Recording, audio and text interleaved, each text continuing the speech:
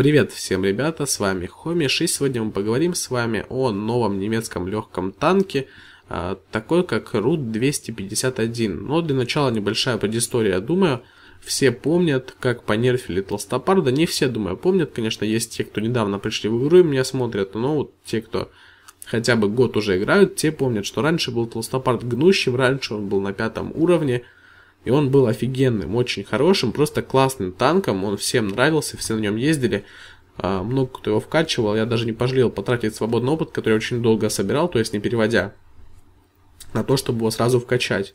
Не хотел на Леопарде ездить и получилось так, что на нем отъездил всего лишь месяц, и его понерфили. Это было очень печально. Я очень расстроился, конечно. Продал Толстопарда сразу, не смог на нем даже ездить, убили танк. И после этого ничего не вводили нормального. Там Леопарда и т.д. поводили, хорошие танки, да, но из ЛТшек ничего не вводили.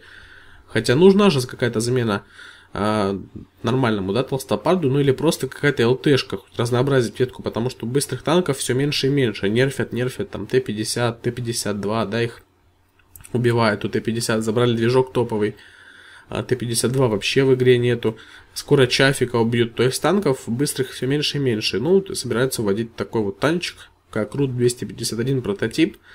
А, для того, чтобы разнообразить игру и просто поводить быстрых танков, этот танк будет действительно быстр, так как его максимальная скорость будет примерно 80 км в час. То есть 80 км в час. Вы задумайтесь, какой-то там МТ-25, который сейчас еле-еле там свои 72 набирает и то еле ездит.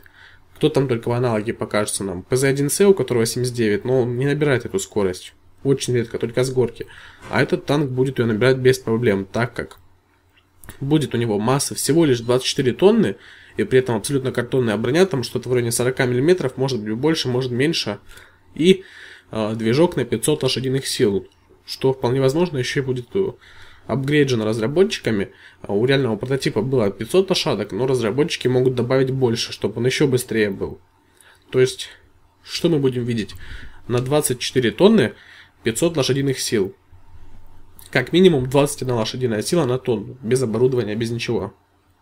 Очень хороший показатель, то есть скорость набирается быстро, а танк резвый, хороший.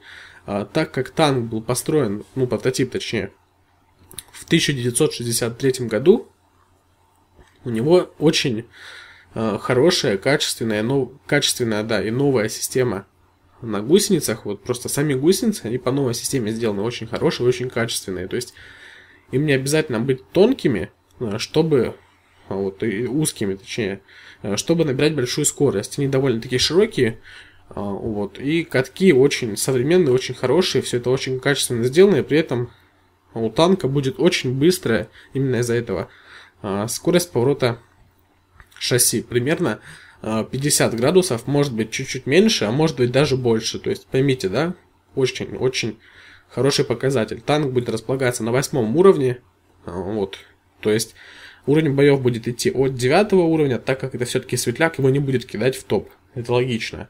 И вооружен будет орудием 90 мм.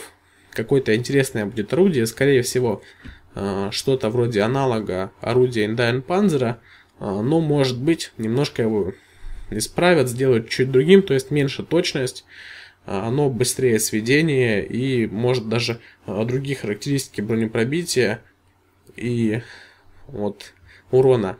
Может быть его будет там 250-260, а пробитие будет где-то 220. Так как все-таки придется воевать с девятками и десятками чаще всего этому танчику. Вот орудие, возможно, ему дадут хорошее, наградят действительно хорошим орудием. Ну и экипаж из четырех человек. А, командир, а, мехвод, заряжающий и наводчик. Заряжающий, скорее всего, будет радистом сразу. То есть две профессии. Вот, ну и все. А, пока что это все по этому танчику, ребят. Надеюсь, вам было интересно.